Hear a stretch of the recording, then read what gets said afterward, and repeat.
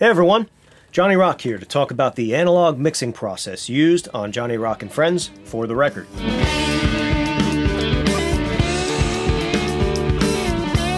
Just a quick primer for those who don't know. Mixing is blending all the sounds you've recorded to create a finished version of a song. You balance the volume, tones, and dynamics of each sound, plus add reverberation and effects. Most of our recordings were done on 2 inch tape, and we decided to mix our songs by hand through analog consoles to 2 track half inch tape. We also patched in an array of outboard gear, which was a combination of analog compressors, gates, and EQs, plus digital effects units like reverbs and delays. Co-producer John Bross and I originally intended to mix our tapes at an outside studio. Even though the recording chain at Sound Over Sound was really robust, it had been a long time since either of us did an analog mix in that room. Format. It's been a while since I've done it, so we got to kind of get up to speed again, you know? Yeah.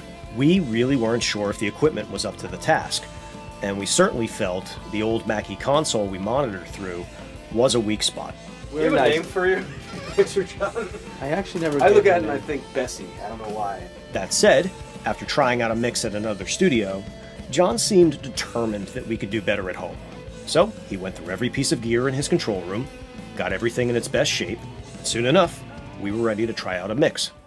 Will we get a mix of Hourglass of Red, or will we just get a test mix of Hourglass of Red?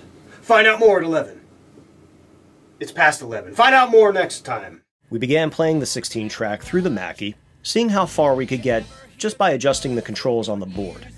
We gradually patched in the outboard gear, and eventually dialed in the basic tones. How is the bass level? Is every the bass and the kick sounding?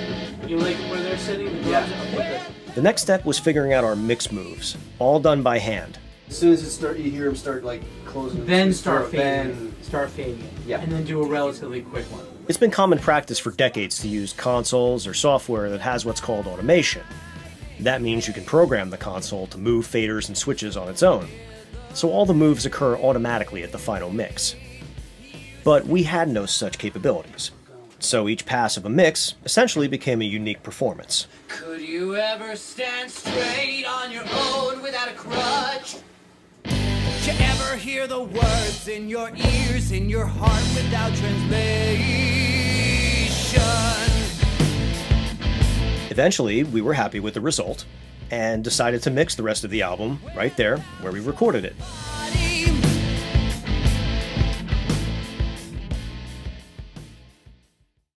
I didn't know it at the time, but doing that first mix with John was one of the most critical moments making the album. As I've mentioned in our other videos, John had a health scare shortly afterwards, and so he wouldn't be around to complete the album. This wasn't exactly what I had in mind. I was hoping to, uh, you know, have a co-pilot for a lot of this stuff, but uh, for the time being, you know, man's got to do what he's got to do. I suddenly had a whole new appreciation for doing these mixes there. Uh, this would directly benefit John in his recovery. A blueprint had been set, and it felt appropriate and familiar to work on equipment we've been using for so many years. The sound of the album became a bit softer than I had originally intended, but it felt suitable. I'm not so sure. I spent my first few sessions back at SOS learning the layout of the control room inside and out. That in itself took a while, but the real challenge was learning how to use the tape machines. I knew how to push the buttons, but up until this point, John had always been the one to set up, calibrate, and maintain the machines. Thanks to the magic of YouTube and the handy reference manuals at the studio, I was able to figure out most of that within about a week. And then it was back to mixing. I quickly realized it would be impossible to do all the mix moves without a second set of hands, so I called in Tony Caggiano, one of our songwriters, to help with the process throughout the rest of the summer. And together we mixed most of the remaining 16 track songs. So to get the solo to where it went, I'm gonna have to lift it a little bit more. yeah. Max Feinstein also came in to help out on his song, Walking Wounded. If it wasn't this fun, we wouldn't take it so seriously. That summer, we also had the mixes for Weasel and Nomad, done by Ernie Indradat at Water Music in Hoboken. Water Music had a beautiful Neve console, plus a Studer machine that could play back the 24-track tape. They also had a real plate reverb, which Ernie dialed in on Weasel.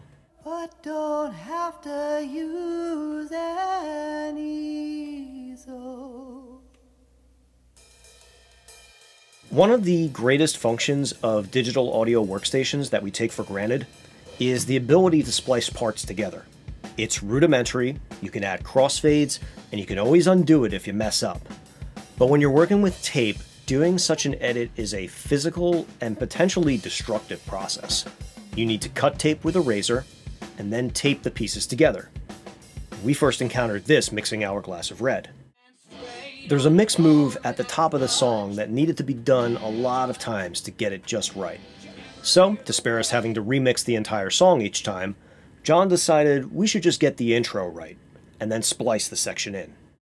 Yeah, but I still I miss this. Actually, I don't miss this. Could you ever stand straight on your own without a crutch? Did you ever hear the That's how it's done, in baby. in your heart? At first, I was pretty terrified of splicing tape on my own, but when the time came to mix more than that, I found myself wanting a combination of two performances that we did. Before splicing the tape, I simulated the edits on the computer to find where these hard cuts would pass undetected. I then mixed the sections from the cassette onto the half-inch tape and carried out four separate splices. Moment of truth. And it turned out I was pretty good at it. And this was a crucial time to gain that confidence because mixing the title track would call upon everything I'd ever learned about analog mixing, especially the editing process. All the other songs were mixed in a full pass by one or two people, but the title track had just too many changes to pull that off. We had 16 tracks of tape, and at any given moment, um, you know, track 12 or whatever could easily go between Moog effects, and then it's a guitar, and then it's a vocal, and then it's a sound effect again, then it's a guitar again. You know, there was a whole lot of that going on, a lot of shared. We track had to real share estate. the track real estate because we had so much going on. Yeah, I had read Ken Scott's book Abbey Road to Ziggy Stardust. Ken was the producer and or engineer on albums by the Beatles, David Bowie, Supertramp, etc. And he wrote about how he used to mix songs in sections. Using that method, I would print, say, one verse and chorus at a time onto the stereo tape. That allowed me to focus on the mix moves for that one section until it was right. Then I could change the settings on the mixing board and do the next section. And if I had to remix something, it generally wouldn't affect the rest of the song, just that one section. Then later, I got out the razor blade and edited the sections together. And how I'm keeping track of how that's all going to actually uh, sound when it's assembled uh, is I'm actually, oh no, I'm using the computer uh, it's nowhere in the signal chain whatsoever. Uh, it's, we're- still entirely analog here, but I'm actually monitoring uh, through uh, the digital system only because it gives me the chance to actually do the splices in the virtual world. There's not going to be any surprises, basically, when I go to cut all of the different bits together. Distractions don't need no reasons, don't ask no question. Time ticks by, castles crumble to the sand. It's gotta be scary to take a blade to the tape. It's pretty scary. Yeah. There are actually 10 edits, or, or 10 rather separate sections that were joined together. I could have gone and done all these different songs so differently if I had known that I was capable of doing that. This cut, this one right here, is historic, and I hope I don't f it up.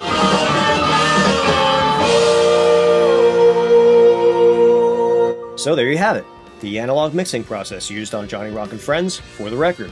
After that, it was on to sequencing and mastering. And if you'd like to know more about that process, you can check out our video titled For the Record All Analog Mastering.